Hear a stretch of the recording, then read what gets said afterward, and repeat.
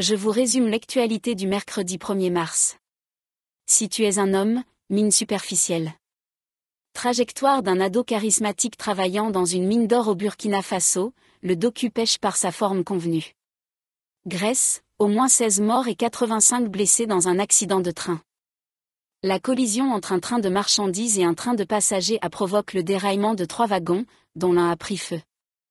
Météo, une journée froide mais ensoleillée. Un temps sec et frais est prévu par Météo France sur l'Hexagone mercredi, sauf en Corse où quelques précipitations sont attendues. Claudine veut connaître la vérité sur l'empoisonnement de sa fille, il y a 16 ans à Morsan-sur-Orge. Experte en magie rapprochée, la perruquée, escamotait les joyaux à la barbe des bijoutiers parisiens. Grèce, un accident entre deux trains fait au moins 32 morts et 85 blessés. À Saint-Pétersbourg, les antiguerres entre fatalisme et détermination.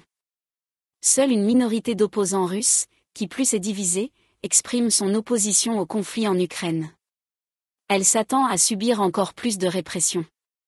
Grèce, au moins 26 morts et des dizaines de blessés dans une collision entre deux trains. Les médias grecs déplorent le pire accident ferroviaire que la Grèce n'ait jamais connu. Les hôpitaux de la région de Larissa sont réquisitionnés pour l'accueil des blessés. Plainte de Noël Le Gray contre Amélie Oudéa Castera, je ne l'ai jamais accusé de harcèlement, affirme la ministre des Sports.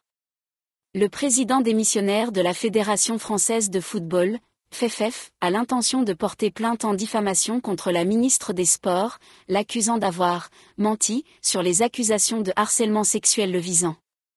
Une momie péruvienne de 600 à 800 ans découverte dans le sac isotherme d'un jeune livreur. La ville de Lille visée par une cyberattaque, les services municipaux affectés. Daesh, 14 ans de réclusion requis contre la revenante, Doua Mounib.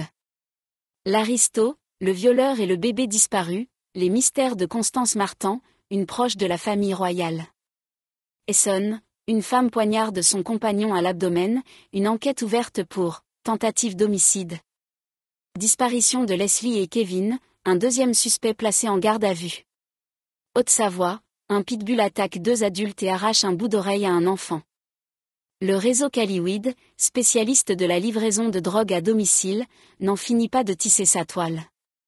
Journal de guerre d'un soldat ukrainien, épisode 1. Un jeune musicien ukrainien, engagé dès le lendemain de l'invasion russe en Ukraine, tient depuis un an un carnet de bord posté sur Instagram. Il a accepté que Libération publie et retranscrive son récit, en français. De sa création à sa réussite, TikTok en quatre chiffres. Le réseau social est à l'origine une application de vidéos courtes, censurée par le régime chinois. Sa version internationale a réussi à supplanter Snapchat ou Twitter en s'imposant comme des plus addictifs. Il lâche son chien sur des policiers au Kremlin Bicêtre, au moins deux blessés. Black Lives Matter, New York va payer des millions de dollars pour des violences policières. Un homme condamné à 28 ans de réclusion criminelle pour le meurtre de sa compagne. Pour ne rien manquer de l'actualité quotidienne, abonnez-vous à ma chaîne.